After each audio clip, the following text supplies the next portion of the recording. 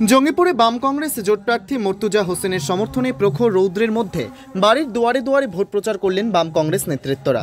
তারা প্রতিটি বাড়ি বাড়ি গিয়ে জাতীয় কংগ্রেসের ইস্তেহারে পাঁচটি মূল স্তম্ভ, যুব ন্যায় বিচার, মহিলা ন্যায় বিচার কৃষক ন্যায় বিচার, শ্রমিক ন্যায় বিচার এবং সমতা ন্যায় বিচারের কথা তুলে ধরেন। টাউন কংগ্রেস সভাপতি মোহন মাহাতো বলেন, রাহুল গান্ধীজি মহিলাদের মহালক্ষ্মী প্রকল্প চালু করার প্রতিশ্রুতি দিয়েছেন।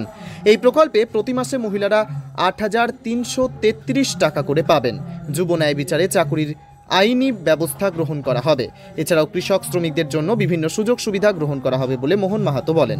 দুয়ারে দুয়ারে ভোট প্রচারের পাশাপাশি প্রতিদিন জঙ্গিপুর জুড়ে শুরু হয়েছে পথসভা। পথসভাগুলিতে বিজেপির জনবিরোধী নীতি এবং তৃণমূল সরকারের চুরি ও দুর্নীতির কথা তুলে ধরা হচ্ছে। এদিন উপস্থিত হন সিপিআইএম এর প্রাক্তন কাউন্সিলর প্রণব সরকার, ইন্দ্রনীল দাস, কংগ্রেসের টাউন সভাপতি মোহন মাহাতো, যুব সভাপতি বাসির শেখ, বারো নম্বর ওয়ার্ডের কনভেনার রাকেশ শেখ প্রমুখ নেতৃবৃন্দরা। জঙ্গিপুর থেকে তরিকুল শেখের রিপোর্ট, জঙ্গিপুর টিভি। चिन्ने हाँ चिन्ने दिन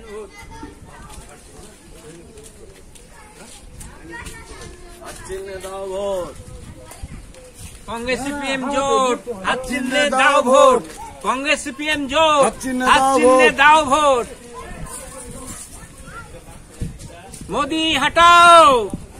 देश बचाओ।